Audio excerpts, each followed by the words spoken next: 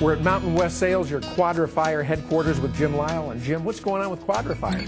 Well, the big news is that there's a federal tax credit up to 30% of the purchase price of any qualifying biomass stove. That's wood or pellet stove from Quadra-Fire, Harman, Heatilator.